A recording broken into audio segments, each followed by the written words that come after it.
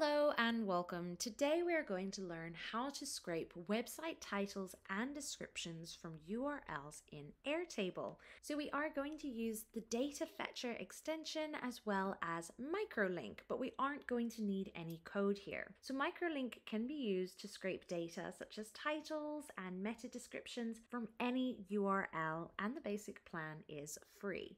So we are going to begin today in our Airtable base and we're going to create the title and description table for ourselves. So up in the top left hand corner, we will retitle table one as websites forward slash URLs. Then you can select save, nice and simple. Then we're going to go ahead and create a field called URL here in the first column. So here we will title this just by double clicking on that. You can change it. And from that drop down menu, we're also going to select URL. So that will pop up nice and simple if you search in that that bar. Then we'll select save and we can paste in our URLs we'd like to collect that data from. So once you have your URLs entered under your URL column, we're going to retitle this first one title Nice, and we do want to leave that as long text from the drop down menu. Then you can select save, and for the following column, we're going to retitle this as description. Great, and again, from that drop down menu, we are looking for long text. You can also type that in there and select save. Now over to the left hand side, we do want to create a new grid view. So you'll see this grid in that left hand menu and you'll see a plus symbol here. If you select the plus symbol, we can now retitle this as needs info. Nice and simple, select create new view then make sure you are under that new grid view and you can see that as this title will be highlighted. Then we're going to go ahead and add a filter. So from this menu, just in the middle of it at the top bar. And for this filter, we want to add condition and read this as where URL and then from the drop down menu is not empty. And then we would like to add another condition and change this drop down menu to title and then the following should read is empty. Once you've selected that, we're going to add a third condition and add that as and the description is empty as well. So that should now read where URL is not empty and title is empty and description is empty. Great. You can click off that and you can see that's now highlighted in green. So next up, we are going to have to install our data fetcher extension. So over to the right hand side, you'll see this extensions option. If you select that, you can then click on add an extension, that big blue button, and we are going to search for data fetcher up here in the search bar to the right hand corner. That will pop up immediately and you can select add and then add extension. Here you can either create a free data fetcher account or you can simply continue with Google. Now we can create our first request. So in order to import your data, select that big blue button again. So now we'll arrive to the following page and we would like to title this as fetch metadata. So up here where it says request one, remove that and add your title. So it should now read like this. Then for the application, we are going to search for microlink. It should appear really nice and simple.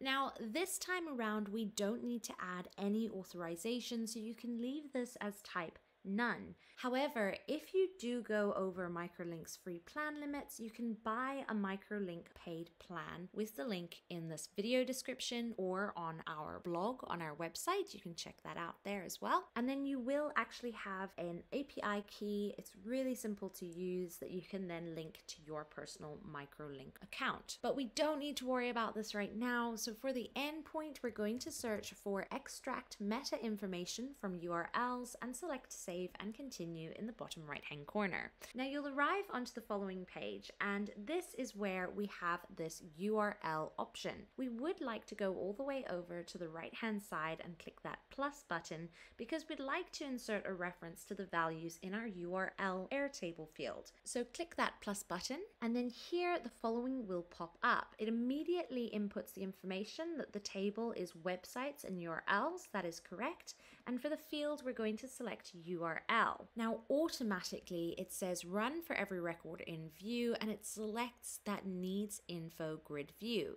So this is all correct. Then you can see that those URLs that you have already inputted have been brought through here so you know that it's all right. Then you can select confirm. So the URL field should now contain a reference to the table. If it looks like this, this is really great. You can check that your output table and view reads as website URLs and needs info. And then we're going to select save and run in the bottom right hand corner. Select continue. Now we arrive to the response field mapping. So this is where you can decide which fields you'd like to have imported into your Airtable base. But we can also turn these on and off. So you can see this green toggle. You can just switch that off so that that doesn't bring that field into your Airtable base. But today we are actually going to select the filter all button up in the right hand corner to turn all of those off immediately. Then we're going to search for title and description. So they are actually already here so we can turn title on,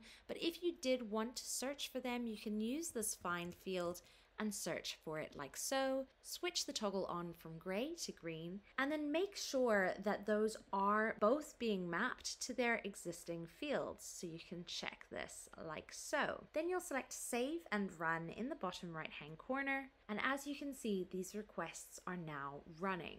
Select show output table and you can close that over. Now you will arrive to the following screen and it looks like nothing has worked. So if you go over to the left hand side, you'll see that grid view option and here it has brought through all of that information that we would like to see from these websites, the title and the description, meta information. So it really is as simple as that to scrape website titles and descriptions from URLs using Data Fetcher and Microlink. But we can actually go one step further than this. So at the moment, you would need to manually run the data fetcher request to import any updates to the website titles and descriptions. However, we can actually make this happen automatically and have this information being updated without us having to do a thing. So in order to do this, we do need to open up our extensions option again as we need that data fetcher extension to pop open, which it happens automatically. Then you can go into that request that you have already created with all of your settings there and simply scroll down. Now you will see this schedule option. You'll only see this if you have already upgraded to a paid data fetcher account.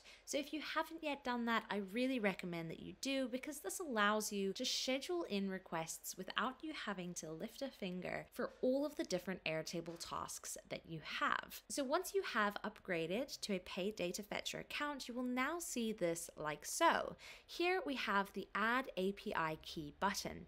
If you select this, it will pop up and prompt you to open your Airtable account. So click that button and we'll immediately arrive to the Airtable overview. Here you can select Generate API Key and if you scroll down, that API key will appear right here. Copy that API key over and come back to your Airtable base to paste it into this input box. Once you've done that, you can select save. Now you can see the schedule option has turned on automatically and you can choose how regularly you would like for this request to run so that anytime you put any information into your Airtable, it just updates automatically. So now we're going to select save in the bottom right hand corner and then we can close this window over. So today, hopefully you have learned how to scrape website titles and descriptions from URLs using Microlink. But if you do have any questions, you can always reach out to us here at datafetcher.com, where we also have a full length blog on this exact topic for you if you prefer to learn